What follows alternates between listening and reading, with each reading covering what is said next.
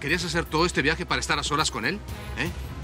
¿Qué es lo que pretendes, Valeria? ¿Compararnos a ver quién te gusta más? No sabía que Pablo iba a venir. Ah, qué buena sorpresa te debe haber dado al llegar, ¿verdad? No te molestes, ve con él, ve con él que te está esperando. Dime una cosa, ¿cómo la pasaste anoche?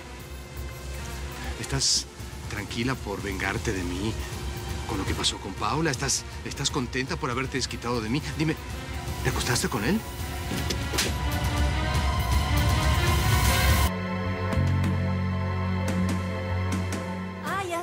Estaba en el hotel con Pablo llegó Valeria. Otra, ¿eh? Se pasa de dramática. Se puso como loca. ¿Lo volviste a ver? Sí. Oye, ¿sabías que quiere casarse conmigo? Me estás hartando y colmando la paciencia, Belinda. No he aceptado. Todavía. Pero si tú me sales con que me quieres casar con Miguel... Sorry, papito. Antes de llegar a eso, me voy con Pablo a Chicago y entonces sí te vas a olvidar de mí. No seas cínica. No seas cínica. Idiota está. Volta.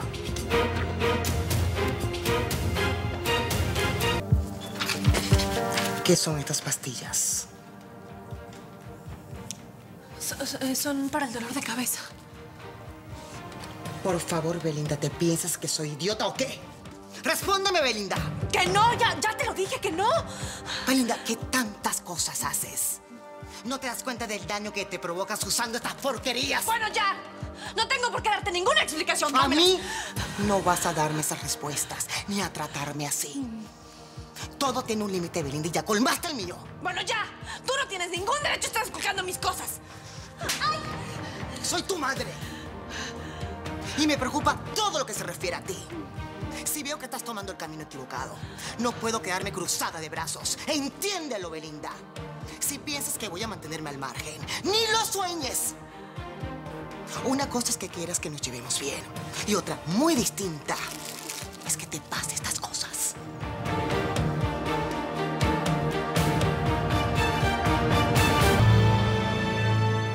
Lo que tengas que hablar conmigo, háblalo con mi abogado. Te pasaste de la raya, Marcia. Acusándonos de lo que le pasó a Beto. Fueron ustedes los que trataron de matarme. Te volviste completamente loca. Fuiste tú la que le disparó a Beto. ¿Sabes qué? Vete al demonio. No, mijita. La que se va a ir al diablo eres tú.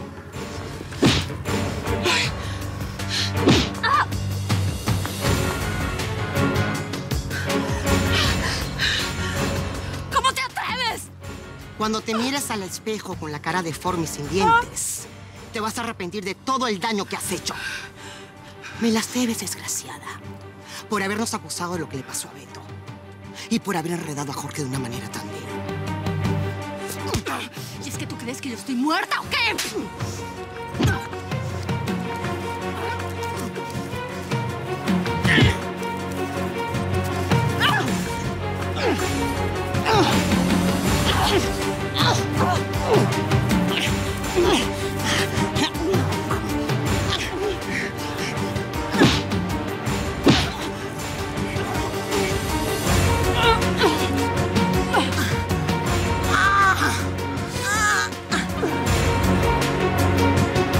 ¡Hey! ¿A dónde crees que vas? Contigo no he terminado todavía.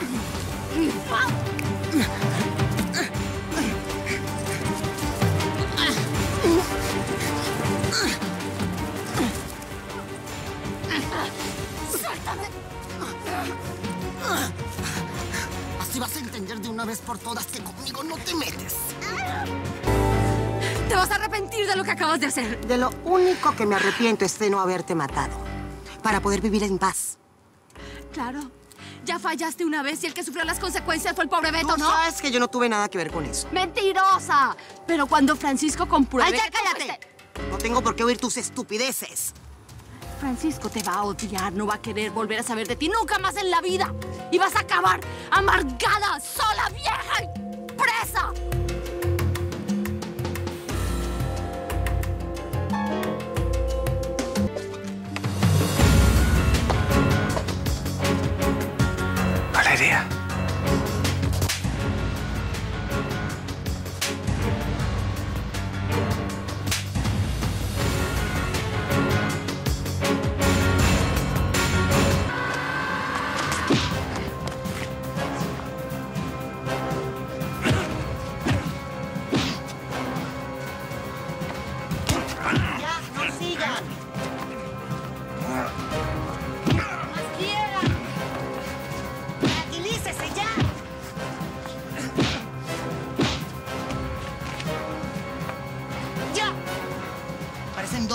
Adolescentes peleando. Ya. Se tranquilizan los dos.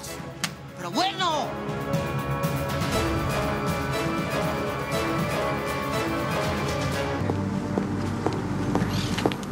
Vamos a caminar por los jardines.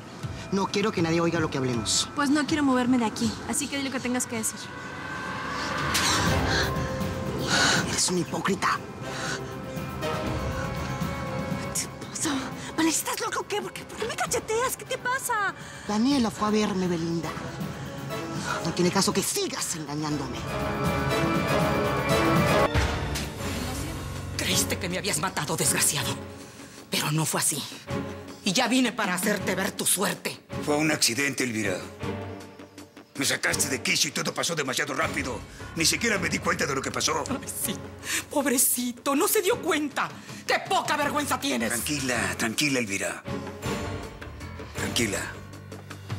No vamos a poner a discutir por cosas que pasaron hace 40 años. ¿Qué sentido tiene? Date por agradecido que no te fue peor. Desgraciado. Porque si fuera por mí, te lincharía en la vía pública.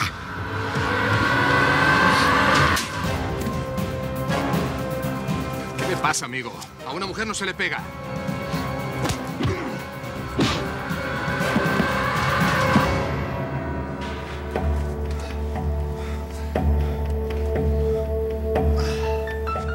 ¿Está usted bien, Valeria?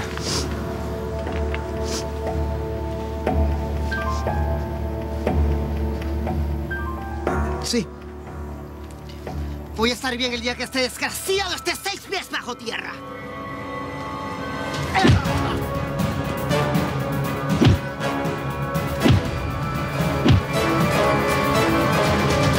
Jorge habla maravillas de usted. Se nota que la quiere muchísimo. Por lo visto se han hecho muy amigos. Sí, Jorge es un hombre maravilloso. Cada vez que puedo paso por el bar donde trabaja y platicamos por horas. No, tú no vas a platicar, sino a intrigar. Valeria, ¿cómo es posible que después de todo lo que pasó con Francisco tú sigas teniéndome en tan mal concepto? Te dije que no quería que fueras a mi casa. Te dije que no me gustaba tu amistad con Jorge. Y sigues en necia. ¿Sabes una cosa, Valeria? Vete al demonio. Tú no eres nadie para venir a prohibirme nada. En primer lugar, tu padre me rogó, me suplicó que fuera la otra noche. Y que yo sepa, él es el dueño de la casa. Y en cuanto a tu Por lo hermano... visto, a ti te hacen falta más que advertencias.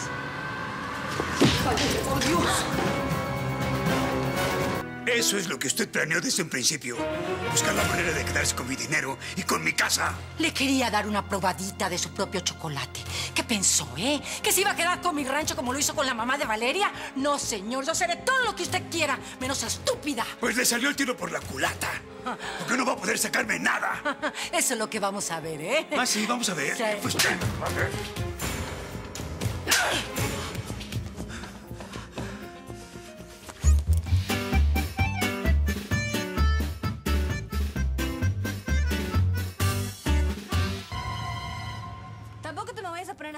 ¿Eh? Ubícate, Valeria, no fue para tanto. ¿Cómo no va a ser para tanto? ¿Te parece broma lo que hiciste? ¿Te parece poco saber que estuviste a punto de morir? Ay, nadie muere en la víspera, total. Además, pues, digamos que fue mi despedida, ¿no? Ya me vas a meter a esta clínica de rehabilitación. Entonces fue mi fiestecita de despedida, todo lo bueno que te da este mundo. ¿Otra estarme sonando, ¿verdad? Órale, órale, quiero otro aquí, dame otro aquí, dame, da, pónmelo aquí, aquí. ¡Ay! ¡Ya, Valeria! Mis vicios son las drogas, pero tuyos son los trancazos. Ya que me vas a meter a una clínica de rehabilitación, a ti te deberían de meter en una de pacificación, fíjate. ¡Ya! ¡Ay! ¡Cállate! ¡Ay! ¡Cállate! Belinda, no puede ser posible que seas tan inconsciente. No puede ser posible.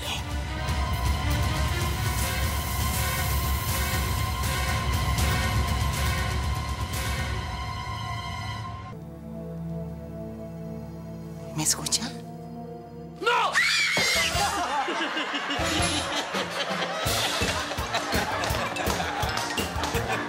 Pero Marcia, uy, uy, uy. Chis. La próxima te denuncio. Mira, si estás tan seguro de... ¡Espérate! Me falta un parlamento. Ya hablé con Laura y le pedí que se aleje de ti.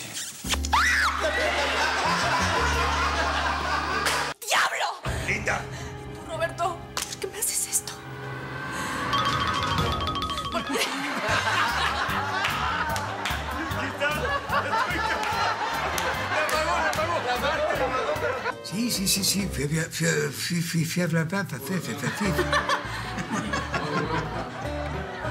Aunque los abogados no pudieron conseguirle visa a las personas que contactaron en Muchacuán. ¿Qué dice la policía, Javier? Abrió una investigación, pero... Lo sabía, Lucas, te lo digo. Te lo dije. ¿Y ahora qué va a hacer? Volverla a repetir porque la regué. Pero no van a lograr asustarme. A ver si no les sale el curo por la cul culata. Solo hay dos hombres vigilando las bodegas. Los Inutiseli... Poniéndote a golpear a Pablo, no vas a eso. No, no tan rápido. Don Chema. En lugar de pensar de vengarse de que te te tirara, manena matita to tirara. Para empezar, con lo que le demos los dos y lo que Ramiro había ahorrado, ahorrarlo.